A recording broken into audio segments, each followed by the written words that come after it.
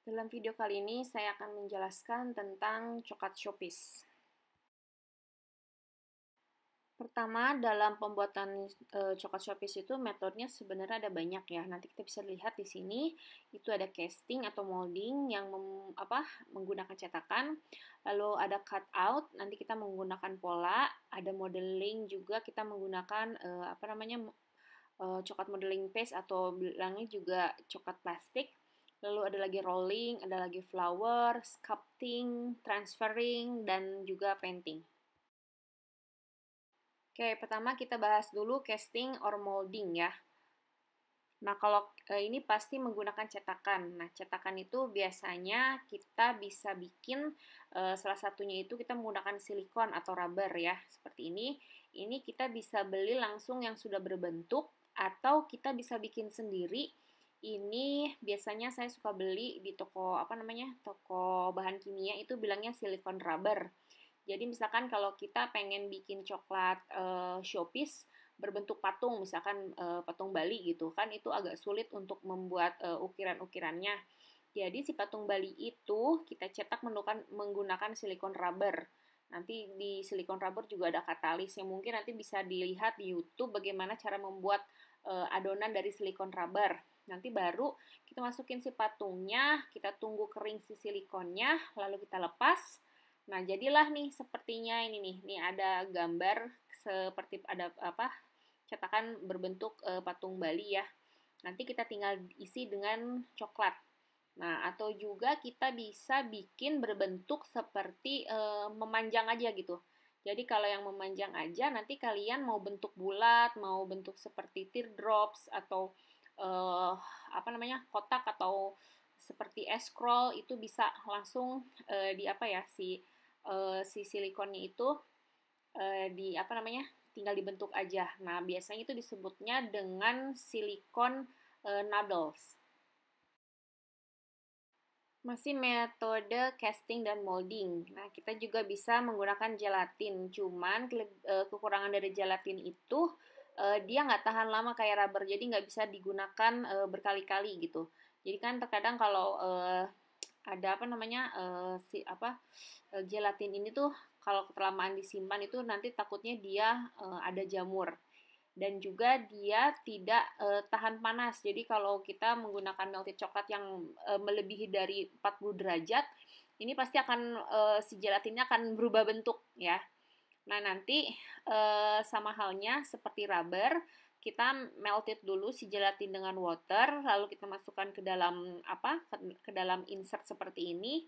Lalu kita ambil patung, kita cetak di situ patungnya sampai si gelatinnya itu mengeras. Setelah itu baru kita e, contoh patung itu kita lepas, lalu kita bisa masukkan melted coklat. Ya, tapi hati-hati itu si melted coklatnya jangan sampai e, terlalu panas karena si gelatin ini kan e, dia akan berubah bentuk nanti agak basah dan mencair.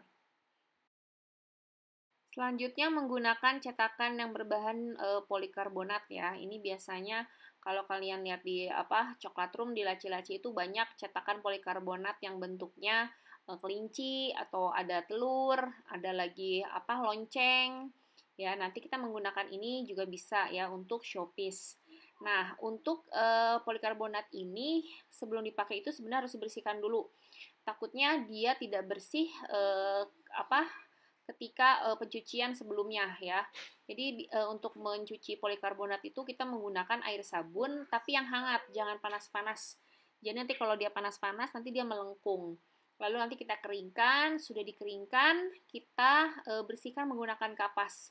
Jadi sehingga benar-benar ya di dalam atau si uh, apa bagian-bagian sudut-sudut dari uh, cetakan dari polikarbonat ini dia benar-benar bersih. Kalau tidak bersih nanti dia tidak akan shiny. Nah, kita bisa uh, mem, apa memberikan warna ya di polikarbonat ini menggunakan spray gun ya. Biasanya kita menggunakan melted cocoa butter yang sudah berwarna. Kita juga bisa kalau nggak punya cocoa butter, kita bisa meltitin uh, apa namanya white coklat lalu dikasih warna, lalu kita bisa kasih motif-motif ya, atau juga kita bisa kasih uh, warna keseluruhan di uh, si polikarbonat tersebut ya. Nanti uh, untuk caranya itu kita bikin uh, apa namanya lapisan luarnya dulu ya lapisan luarnya dulu kita mungkin mau dikasih warna kita mau misalkan ada motif ya sudah itu uh, kita tunggu sampai kering baru kita tuangkan melted coklat sampai full ya kalau sudah sampai full kita tunggu sekitar 15 sampai dengan 20 menit sehingga nanti ada uh, coklat yang agak sedikit mengeras uh, dengan ketebalan sekitar uh, 0,5 sampai dengan 1 cm. Lalu setelah itu kita buang kembali ya uh, coklat tersebut ya, otomatis yang bagian tengahnya kan belum mengeras tuh. Kita buang kembali lalu kita scrap pinggirnya biar tidak kotor.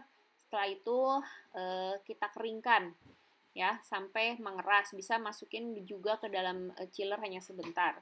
Nah, ciri-ciri kalau uh, si coklat yang dicetak menggunakan polikarbonat itu sudah siap uh, dilepas, itu biasanya dia warnanya akan transparan si polikarbonatnya kalau kita lihat. Jadi terlihat seperti dia mau melepaskan diri dari si polikarbonat. Selanjutnya ini kita bisa menggunakan cutter, ring cutter atau square cutter, ada juga yang berbentuk hard cutter ya. Nah, ini biasanya kalau untuk eh, apa namanya? pelapisannya itu kita menggunakan aluminium foil di bagian bawahnya. Lalu biasanya kita juga apa namanya di beras menggunakan salad oil biar tidak menempel dan kita tuangkan melted coklat. Ya, melted coklatnya terserah kita mau e, setinggi apa atau ketebalannya berapa.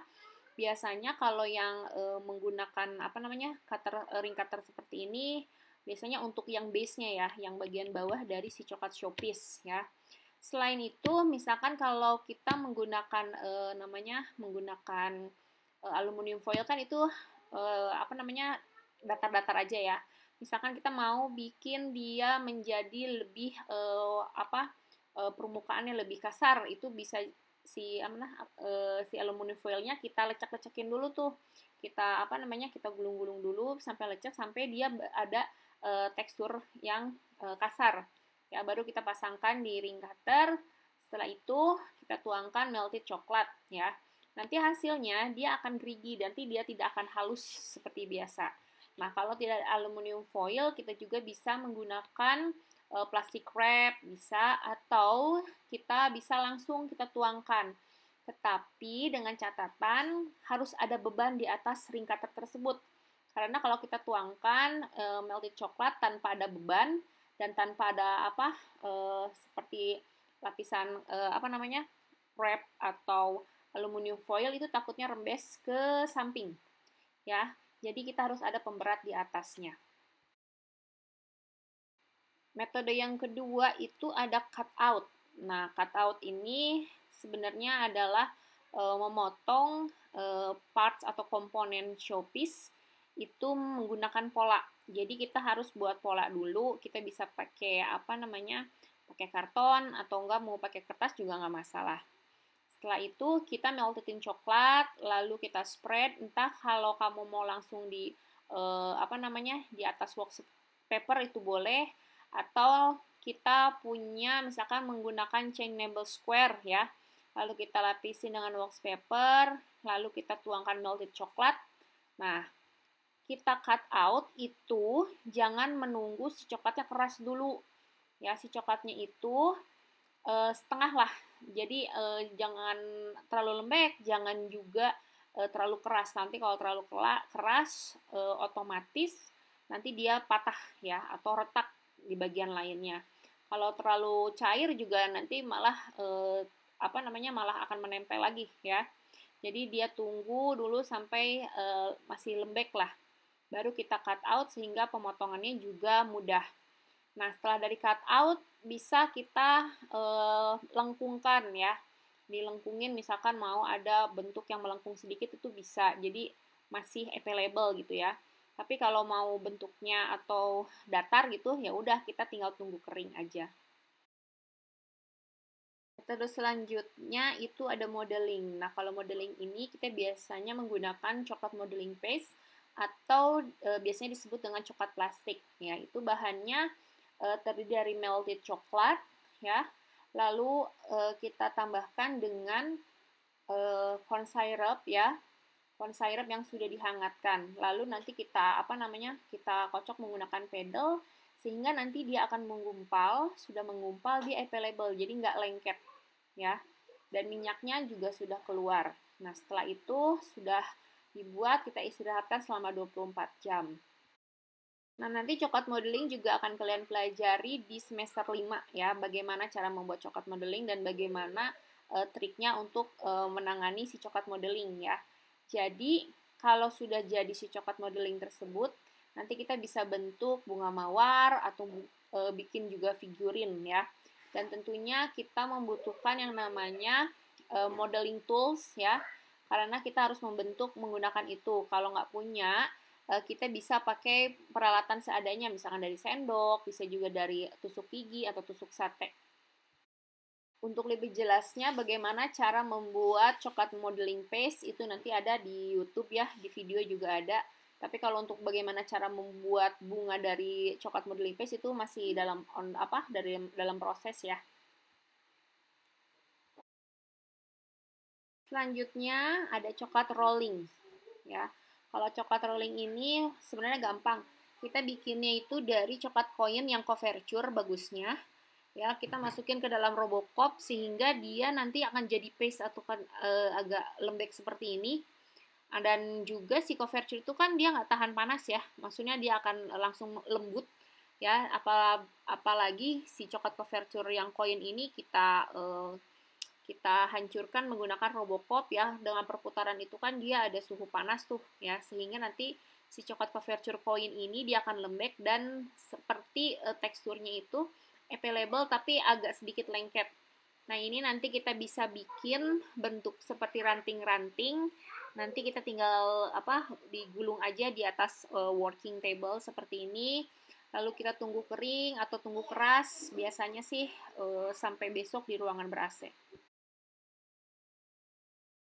Selanjutnya ada flowers. Sebenarnya sih flowers itu bukan metode ya. Eh, banyak malah eh, flowers itu eh, menggunakan metode dengan berbagai macam metode gitu. Kalau flowers itu sebenarnya komponen ya, komponen atau enggak partsnya ya, bagian dari showpiece. Nah, untuk bagaimana cara membuat flowers itu banyak di sini kalian nanti bisa lihat step by stepnya seperti apa. Nah, contohnya seperti ini, kita hanya menggunakan small knife ya. Nah, bagusnya ini kita menggunakan coklat couverture ya. Jadi kalau dengan jenis ini nanti biasanya pas si small knife kita tarik ke atas, lalu kita uh, tarik ke mana? Tarik ke belakang, itu biasanya akan ada garis ya. Nanti bisa lihat ya, banyak sih di YouTube cara membuat apa namanya? cara membuat uh, bunga lah. Selanjutnya ada metode sculpting. Nah, ini biasanya sculpting itu dia menggunakan coklat apa coklat blok besar ya. Lalu kita ukir. Ini sama halnya seperti kita memahat e, patung dari kayu. Ya, seperti ini. Jadi ini benar-benar yang namanya skill apa ya? E, sense of artnya harus tinggi ya. Jadi selain kita tahu tentang bahan e, coklat itu harus seperti apa, kita juga bisa kita juga harus punya sense of art bagaimana cara membuat patung ya terutama uh, patung wajah apakah dia presisi gitu wajahnya hidung mulai dari mata, pipi, dagu, ya semuanya. Dan ada juga yang menganggap kalau coklat sculpting juga selain menggunakan coklat box, eh coklat apa eh, blok ya, kita juga bisa menggunakan eh, coklat modeling. Kan banyak tuh sekarang cake yang berbentuk wajah manusia ya, wajah manusia seperti real adanya. Itu biasanya dia menggunakan yang namanya coklat modeling ya matanya, hidungnya, pipinya, bibirnya itu semua mirip ya. Kita bisa menggunakan uh, coklat modeling tools juga ya. Jadi penganggapan dengan sculpting itu ada yang menggunakan coklat blok besar lalu kita pahat, ada juga yang membentuk menggunakan modeling apa coklat modeling itu berbentuk wajah seperti yang ya realistik itu sekarang udah banyak sih eh, chef-chef yang uh, jago membuat uh, wajah manusia berserta mungkin setengah badannya gitu ya sampai dada itu menggunakan uh, coklat modeling. Lalu ada lagi transferring ya. Transferring ini sebenarnya sama seperti kita membuat coklat decoration ya, mungkin ada di video yang tentang transferring. Cuman kalau untuk yang ini biasanya kita membuat daun gitu ya, membuat daun yang besar tapi ingin yang berwarna ya, kita bisa menggunakan cocoa apa cocoa butter berwarna hijau, lalu kita bikin motif-motif daun, lalu di atasnya kita kasih melted coklat, kita spread, lalu kita tunggu sampai dia setengah mengeras, baru kita potong berbentuk daun seperti ini ya. Masih menggunakan metode transferring ya. Nah, ini kita bisa lakukan kalau kita mau bikin wajah seseorang ya biar apa namanya biar lebih rapih gitu ya. Jadi kita punya pola atau gambar seorang eh, kita cari yang eh, black and white seperti ini saja. Lalu nanti di atasnya kita kasih plastik atau mau menggunakan wax paper ya. Kalau wax paper mungkin agak kurang kelihatan pakai plastik ya. Setelah itu baru nanti kita gambar menggunakan melted coklat sesuai dengan pola. Nah nanti kalau sudah digambar ya sudah sesuai dengan pola matanya, rambutnya, hidungnya. Lalu kita timpa lagi dengan warna yang berbeda, warna putih misalkan. Ini untuk agar semuanya bersatu ya. Nanti kita tunggu sampai kering lalu kita lepas dari plastik ya dan hasilnya jadi seperti ini. Lalu metode selanjutnya itu adalah painting. Nah, ini painting nanti akan kalian pelajarin itu di semester 3 ya. Jadi kita melukis menggunakan uh, coklat paste ya. Kalau di resep kita itu coklat paste itu hanya coklat bubuk, salad oil dan simple simple sirup ya. Nanti biasanya kita melukisnya itu di atas stragan, bisa juga di atas uh, pastilas ya untuk menjadi kanvasnya. Mungkin kalian pernah lihat di kantor ada lukisan kuda ya. Lukisan kuda itu uh, ada kuda, ada wanita, ada ada wanita yang meng, apa memegang gelas, ada juga astronot itu dia bikin dari cocoa painting. Ya, kanvasnya itu kita menggunakan ada yang pastilas juga karena besar. Ya. Nah, untuk showpiece biar awet si pastilasnya itu kita semprot menggunakan menggunakan pilok berwarna clear ya. Nah, selanjutnya bagaimana sih step by step cara membuat e, coklat showpiece? Ya, tentunya yang pertama itu kita harus membuat planning, desain, dan sketching. Sketching itu kita gambar ya. Lalu nanti yang kedua itu kita baru membuat semua komponennya ya. Lalu yang ketiga kita menyusunnya atau assembling dan yang terakhir itu adalah finishing. Nah, dalam menyusun rencana gimana membuat coklat showpiece itu, kita pertama harus memikirkan dulu temanya ya. Tema, terus judulnya mungkin apa, kalian mau bikin apa. Nah, biasanya kalau lomba itu dia temanya sudah ditentukan ya. Jadi kita harus sesuai dengan tema. Oh, misalkan temanya nature, berarti kita akan jauh lebih uh, ke apa bunga, ke apa lagi? ke daun ya. Bisa juga mungkin ada sedikit binatang. Lalu nanti setelah menentukan tema ya dan menentukan e, komponen apa saja yang ada di dalam showpiece kamu, nah kita juga harus memikirkan metodenya seperti apa metodenya. Bagaimana sih cara membuat daunnya? Kita harus dipikirkan. Jadi e, terkadang itu kalau kita jago e, punya imajinasi ya, punya imajinasi tinggi, uh, planningnya bagus, pengen bikin ini bla bla bla bla, tapi terkadang kita suka lupa memikirkan bagaimana cara atau metode pembuatannya. Setelah itu kita baru ke desain ya. Nah di desain ini uh, kita juga sudah menentukan uh, bentuknya, kodoknya kan kodok tuh macam-macam tuh bentuknya ya. Lalu nanti warnanya, ukurannya ya. Setelah itu juga kita langsung sketching ya. Sketching ini sudah uh, finalnya uh, kita mau bikin apa? Tadi rencananya ya temanya. Terus uh, ukurannya berapa tingginya berapa dan kalau bisa sketching itu kita menggunakan warna ya. Tetapi apabila kalau misalkan coklat showpiece-nya kita pengen warnanya real hanya warna coklat itu nggak masalah nggak perlu dipaksakan untuk menggunakan warna Selanjutnya pembuatan semua komponen atau uh, parts-nya ya atau bagian-bagiannya ya. Nah, ini bergantung dari metode uh, apa yang kalian uh, butuhkan ya, sesuai dengan planning kalian dan desain kalian ya. Misalkan kalian pertama ah mau bikin dulu yang casting untuk bagian bawahnya. Berarti kita bikin dulu yang casting. Ah, saya mau bikin bunga dengan metode seperti ini. Kita bikin ya. Nah, dalam making all components atau part ini, kita juga bisa sudah melakukan yang namanya coloring ya. Coloring kita contohnya bunga. Kita bisa langsung e, menggunakan e, warna, kita bisa menggunakan spray dalam e, pembuatan bunga. Setelah parts atau komponennya sudah lengkap, kita tinggal assembling. Assembling itu kita menyusun setiap parts tersebut sesuai dengan desain ya. Dan ini hati-hati dilakukannya ya. E, sebenarnya dari planning pun kita harus memperhitungkan e, tingginya ya. Tingginya misalkan kita mau bikin e, di kampus nih. Lalu kita mau apa namanya? kita tampilkan di suatu gedung, otomatis harus ada transportasi dong. Di mana namanya e, mobilnya pintunya setinggi apa sih? Misalkan pintunya hanya setinggi 1 meter, tapi coklat chopis kamu tingginya 4 meter gitu kan, itu tidak mungkin kalau kita assembling di kampus. Berarti assemblingnya itu atau menyusunnya itu harus di e, lokasi area yang akan e, kita tampilkan si showpiece-nya. Jadi jangan kita membawa-bawa dari kampus, kita pakai mobil dengan tingginya yang pendek, ya, lalu kita bawa ke namanya tempat untuk pameran. Dalam menempelkan per parts atau komponen tersebut, itu kan biasanya kita menggunakan coklat leleh ya, mild coklat, atau kita menggunakan torch ya, tapi hati-hati torch itu yang membuat nanti e, agak warnanya itu agak sedikit gosong di coklatnya. Nah, ini kan sedang menempel nih, sudah mah berat, kita harus nungguin dia kering kan si melted coklatnya atau lem e, untuk per partsnya. Nah, ini kita juga membutuhkan namanya cooling spray ya. Di sini ini banyak sekali merek-merek cooling spray.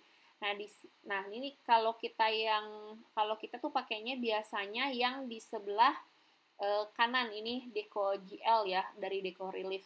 Deco Relief ini kalau saya tidak salah ingat ini harganya satunya 600.000 ini tinggi ya. Lalu nanti dia terdapat seperti sedotan kecil sekali sehingga nanti kita bisa menyemprotkan ke bagian-bagian e, apa coklat showpiece yang kecil yang tersembunyi sekalipun.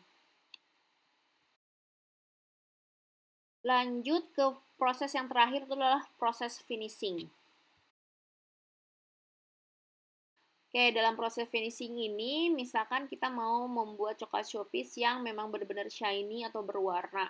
Ini kita bisa lakukan dengan metode spraying ya. Kalau spraying uh, untuk warna juga sebenarnya bisa dilakukan ketika membuat uh, per partsnya atau per komponensnya. Tapi ada juga yang uh, diberikan kepada uh, metode apa uh, tahapan finishing. Ini salah satu contoh spray gun, salah satu ya, salah dua. Ya, ini ada spray gun. Nah, ini biasanya kalau kita menggunakan Krebs itu nih kalau kita beli itu harganya sekitar 5 juta ke atas, 5 sampai 6 juta ke atas. Lalu ada juga yang dari uh, bentuk yang satu lagi nih yang sebelah kanan, ini harganya mungkin jauh lebih murah. Kita bisa dapat yang harga 300 ribuan ya. Uh, biasanya ini untuk uh, mengecat uh, apa namanya? mengecat yang di toko cat itu apa di tukang-tukang cat itu yang menggunakan spray uh, atau airbrush ya kita bisa menggunakan ini nah ini ada cara dan uh, tujuan untuk uh, spraying ya pada proses finishing.